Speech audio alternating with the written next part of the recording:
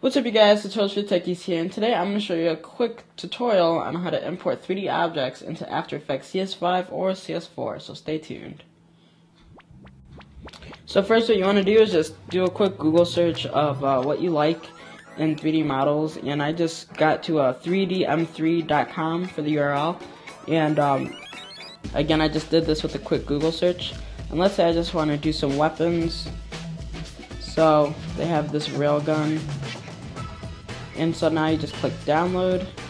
And after it's downloaded, then you could just open the, you could just uh, quickly um, just get a brief um, look at the downloads and just make sure like it's the right format. And it would help if it was a 3DS format because um, After Effects really recognizes those.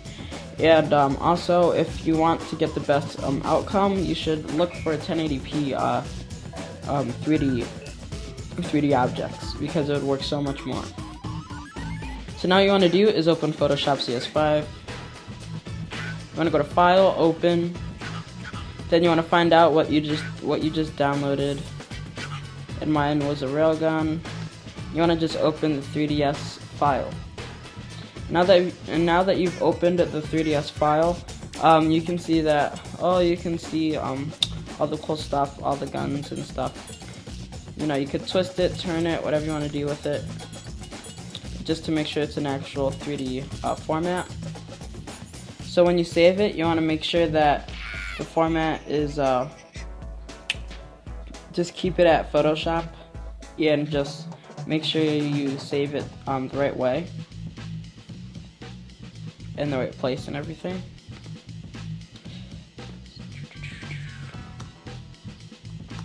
Make sure you click maximum compat uh, make sure you click maximum compatibility. Now that you've done that, you can uh, just hide Photoshop. And now you can open After Effects, CS5 or CS4. Now that you've done that, you can go to uh, right click it, do import, click file. Now go to the file you just uh, saved from Photoshop. So I saved minor photos.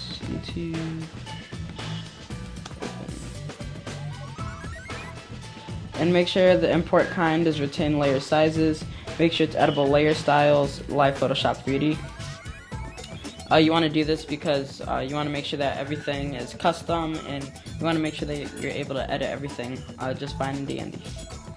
And so now that you can see that um, you have you actually have the gun in After Effects now, um, you can edit it into any different type of video that you want.